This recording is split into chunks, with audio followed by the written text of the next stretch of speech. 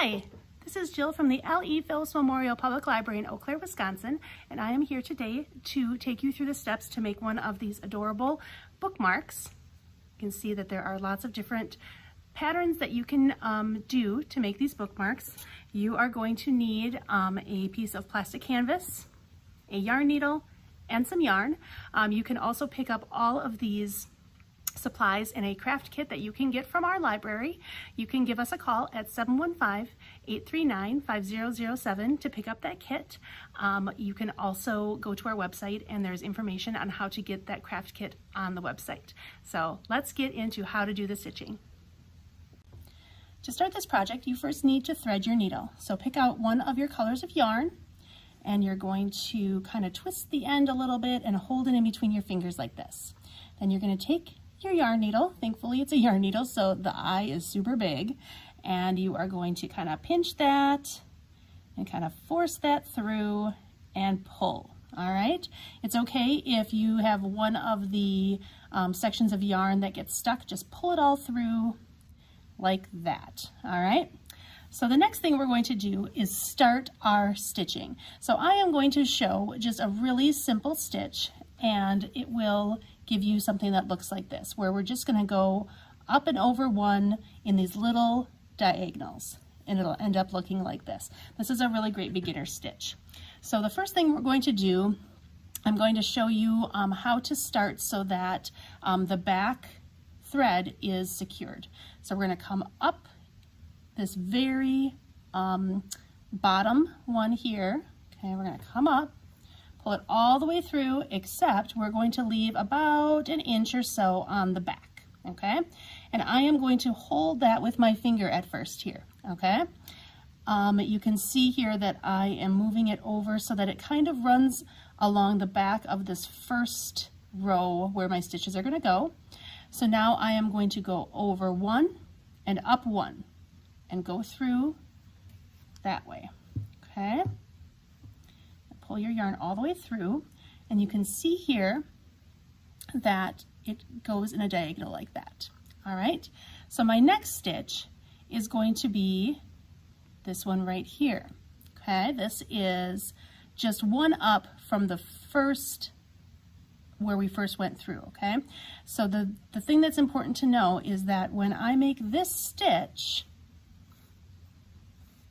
on the back, you can see how that caught it, all right?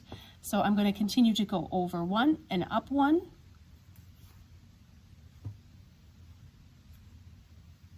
And then again, a straight over. And then over one and up one again, okay?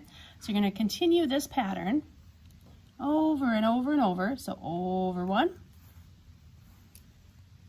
and then over one and up one. So you can see here that I have a lot of diagonal stitches on the front and on the back, you can also see that because we're going straight over, we are catching the tail here so that it doesn't unravel. All right, the next thing we're going to learn is how to end a color. All right, so you may have lots of colors of yarn and you may want to only go this far with this mustard color and you want to switch to a different color. So we have run however far we want to go with our stitches. We're going to turn it over and we're going to see on the back we've got all of these stitches that just go straight across. You are going to take your, your um, needle and you're going to run your stitch the back. Ooh, it's a little tricky. This is a big needle, so that's okay. And it's real blunt, so it's safe for the kiddos, um, but it's a little hard to get it in. All right, so you're gonna run it through, um, you know, I don't know, I ran it through like four, but whatever. Run it through several of these stitches on the back here, and then you're going to pull it all the way through. All right, so now basically you did um, what, you know, how you started it with running that, that extra tail through.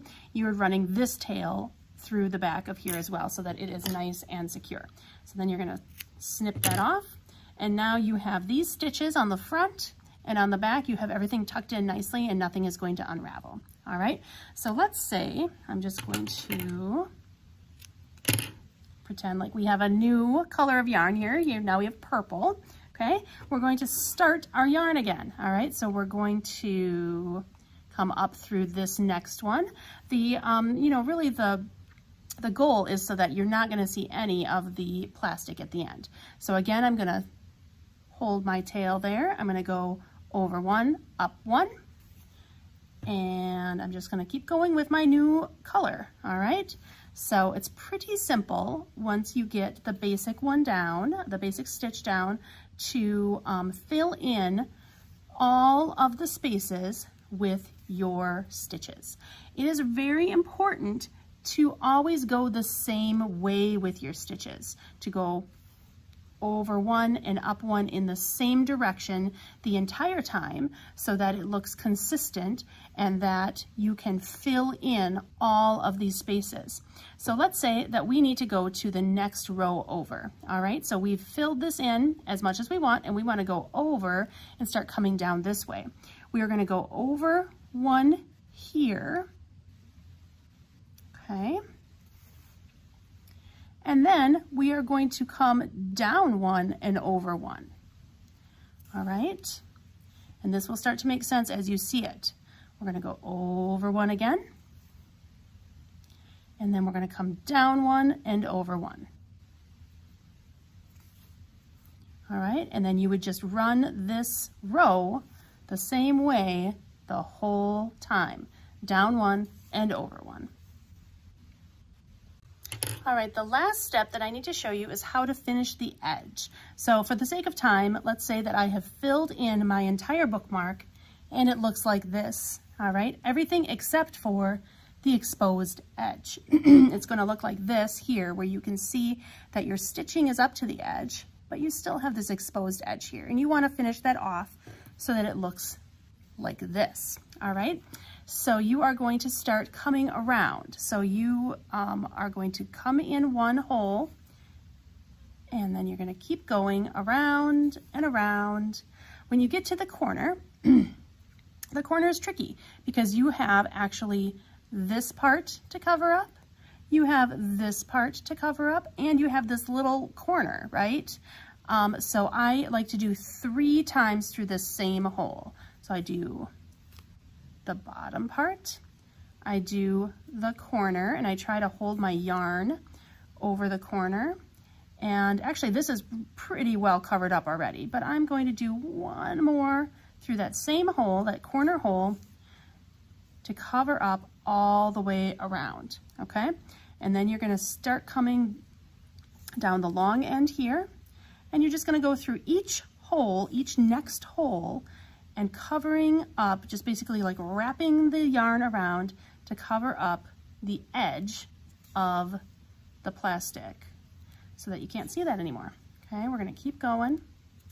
When you get to the end, like let's say that we had gone all the way around this whole thing and we had covered up all of the edges, okay? So the way to end this, so that again, we want to have it so that the tail doesn't unravel is that you get to the end, which would be right here.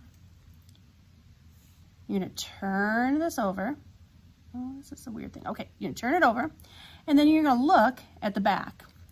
And of course, you've got these, these straight across stitches, and so you're gonna run your, your yarn or your needle so that you can run your yarn behind, tuck that tail in, and cut it off okay? So you end up with something like this, although of course yours will be all filled in. You can use your different colors of yarn to make different patterns. You can even um, look online and find some patterns for some um, initials that you can put in there. You can also use your different colors of yarn to make a pattern like this. This is a different stitch. This isn't just one, one up and one over. This is actually skipping several of the, um, the things, okay? So this looks a little bit different on the back. You can look these different patterns up online to see um, how to make those fancy ones. Um, but I recommend starting with a simple stitch like this. So that's it. I hope that you have fun getting from this start to your simple stitch to maybe even doing a fancy stitch like these. If you have any questions um, or you want to request a craft kit to have at home, please give us a call. Our number is 715-839-5007. Thanks for watching. Bye-bye.